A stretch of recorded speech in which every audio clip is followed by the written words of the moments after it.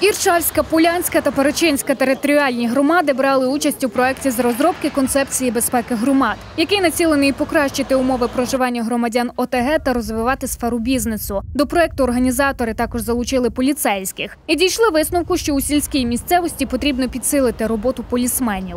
Треба щось змінювати, і пану міністру Авакову, напевно, треба внести ті певні зміни для того, щоб кожна громада мала свого поліцейського безпосередньо. Я розумію, що якщо є громади, які є міського типу, то там є районні відділення поліції, і вони працюють дуже активно, гарно. Але є громади сільські, є громади, які знаходяться десь в межах району, в яких присутність поліцейського є маленька. Найважчим кажуть керівники було опитування. Збір інформації організували у вигляді 6-8 фокус-груп у кожній ОТГ. Далі досліджували її та класифікували наявність проблеми. Розроблені методології керівники проекту нікому не нав'язували. ОТГ, які погоджувалися із концепцією, впроваджували їх, а деякі ще розглядають. Було громадське обговорення тих е, серед депутатського корпусу, і зараз ми чекаємо, що, наприклад, ще Перечинська громада і Іршавська їх приймуть.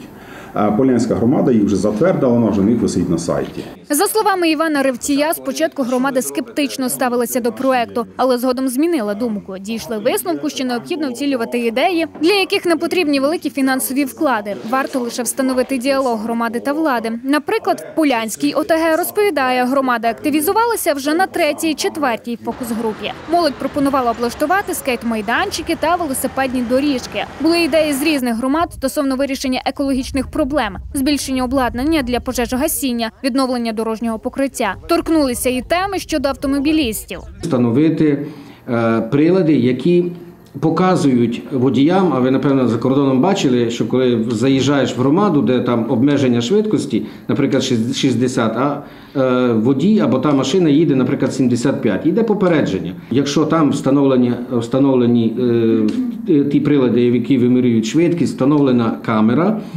Е, Вона на центральний пульт передає, і там дійсно можуть звернути увагу, що в такому місті є перевищення швидкості.